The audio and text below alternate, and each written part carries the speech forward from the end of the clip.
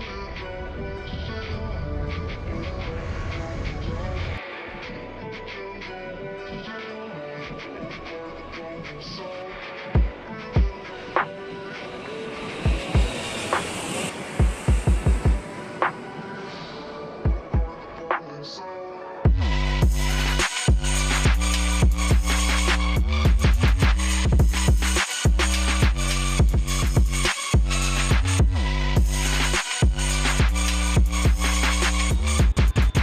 Shalom, Israel. This is Bishop Nathanyel.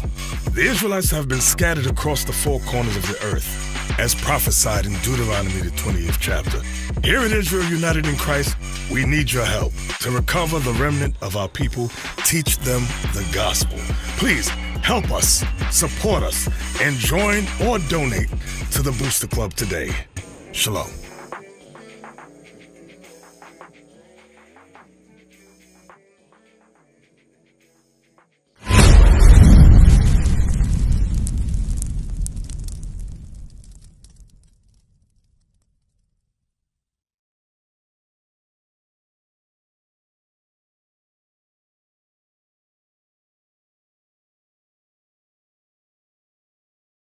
Now, we in Tallahassee right now. Everybody know who overpopulates the hood in Tallahassee, right? Who overpopulates? Black.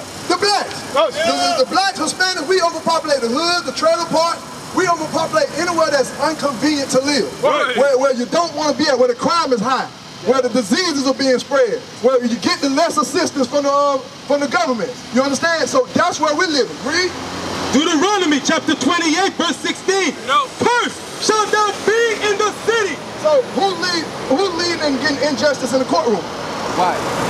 So whenever we go to the courtroom, who's getting unfair treatment? Black.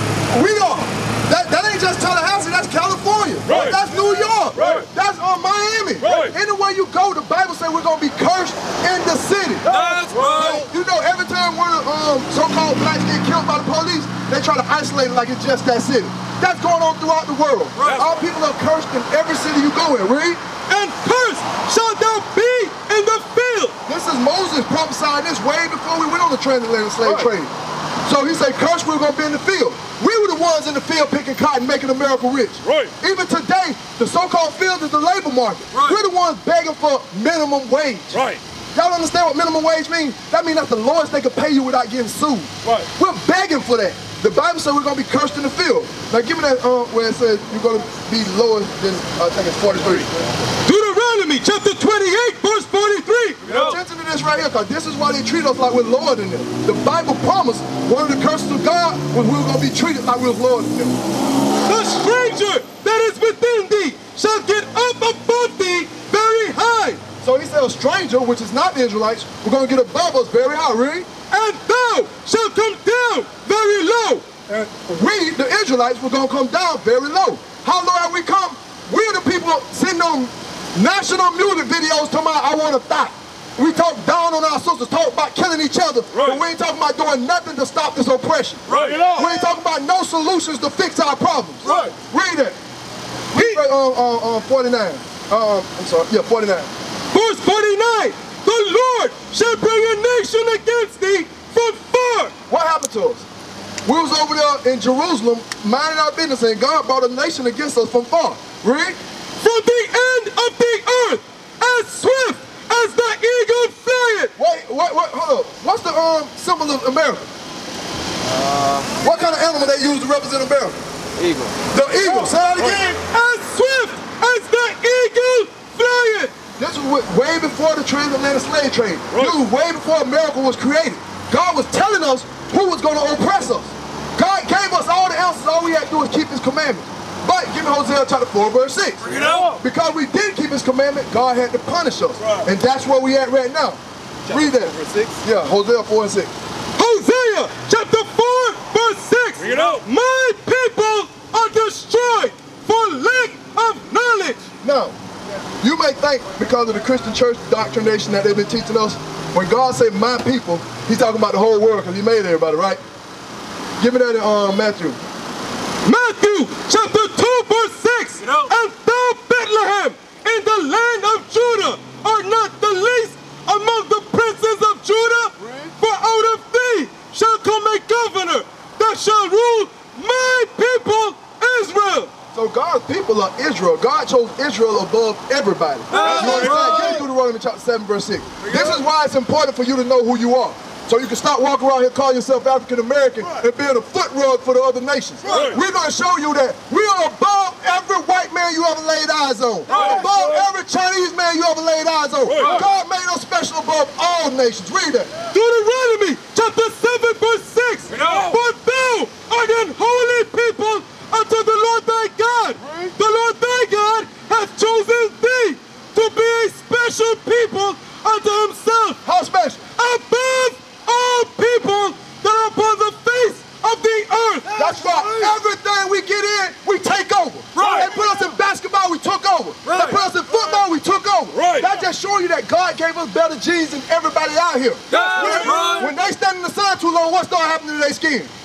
Understand? Give me um second Esdras chapter um three verse twenty um twenty three. 5 verse 23. I want to show y'all just what, what God did. God chose us above every nation. And that's hard to believe because you've been taught your whole life God loves everybody the same. Read it. Second Esdras chapter 5 verse 23 and said, O Lord that bearest rule of every wood of the earth and of all the trees thereof. So he said, God that bear rule over every tree, read.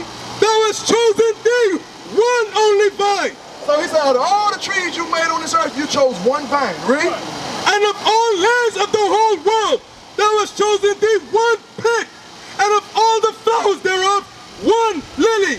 So understand, God is telling you out of all the stuff he made, he always had one special thing, read. And of all the depths of the sea, thou hast filled thee one river. And of all builded cities, thou hast hallowed Zion, Hello, huh? Zion. That's you and your ancestors. Understand? God chose us to be above all nations. Now, after knowing that, where do we go from here?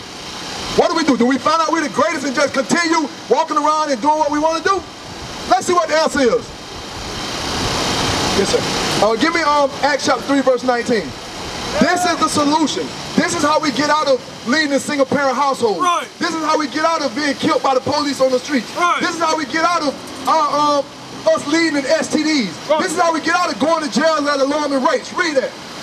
Acts chapter 3, verse 19. Bring it out. Repent, Do what? repent, ye therefore, and be converted. So God is telling us we must be converted. What does converted mean? Uh, pretty much like uh, change. Change. That's right. So what must we change? What would convert us? Do you know what would convert us? Uh, pretty much religious where we're blind and I'm gonna show you what to change the so-called black, Hispanic, and Native American man. Psalms chapter 19, verse 7. The law of the Lord is perfect. What is perfect? The law of the Lord is perfect, converting the soul. So what converts us? What converts us is the Lord. The laws Right. of God. Read it again. The law of the Lord is perfect, It said the laws of God is perfect. Right. converting the soul. Remember, God told us we must be converted. Now, the laws of God are what converts us. Right. Now, the question is, do y'all know the laws of God? Bring it out. It's, it's pretty much uh, laying on the Ten Commandments. It's more than the Ten Commandments. Right. Homosexuality in the Ten Commandments? So, do you think God gonna have the flamers walking in heaven? No, he's not. Right. That's confusion. Understand that? So, you, you basically can say you don't know the laws of God, correct? So that's what we teach. All right, give me um 1 John chapter 2, verse 3, so y'all can know this is how you know if you got a relationship with God. Then I'm gonna start showing y'all some laws, okay? So we can understand there needs to be a change. We can't keep doing our own thing and expecting God to come in and change some stuff because and we're not listening to him. Read that. First John chapter 2, verse 3. it out. And hereby we do know that we know him. This is a scripture that'll cut every Christian you know. It say, this is how you know that you know him. Because all the pastors say, oh, God, I got a relationship with God. He know my heart. Then the Bible say, I'll tell you how you know if you know him. Read. If we keep his commandments. Now, most of the Christian churches ain't even teaching the commandments. So that's tell you they don't know God. Read. Right. And he that saith, I know him, and keepeth not his commandments, is a liar. The Bible says, if you say you know God and you keep it not his commandments, you are a liar. We used to scream black power while heroin was pushed. But at the end of the day, nothing's in vain. IUIC has been given a vision. The tents of Judah has risen. Many has attempted the mission, minor murmuring, omitting, and missing the mark. Just reading that he had the flame of fire in his eyes gave us the spark. We on Paul's mission. We out on the road, purple and gold, from Mexico, Cuba, Haiti, Ghana, Sierra Leone. 144,000 boots banging, concrete crackling. These are our men repented at heart. The scriptures is proof. IUIC, we deliver the truth.